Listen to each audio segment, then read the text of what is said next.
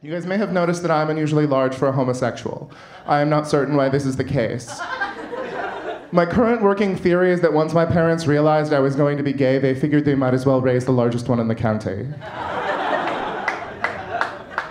if they're not getting grandchildren out of the deal, at least they could get a blue ribbon. I mean, the, the portion of the, the Republican Party I, I have the most problem with is the, the Libertarian Tea Party movement for two reasons. First of all, teabagging is not a political movement.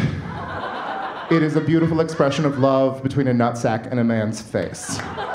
I'll show you later. And second of all, what are libertarians saying? They're essentially saying, hey, wouldn't it be cool if no one were in charge? And I cannot respect a political philosophy that is also the plot of Don't Tell Mom the Babysitter's Dead.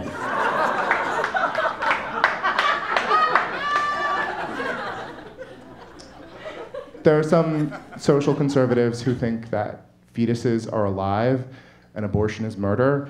Uh, and I disagree, because I think if that were true, you would hear about a lot more haunted vaginas.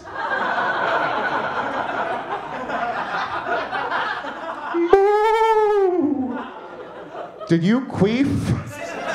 No, I have a poltergeist. Thank you, that was brilliant acting, don't you think? There are some advantages to being a gay man in our society. We get to be friends with black women for no reason. No one understands why it works. It's just two strong flavors that go well together, like sea salt and dark chocolates. There are some advantages to being a gay man in our society. No one expects me to like Kings of Leon.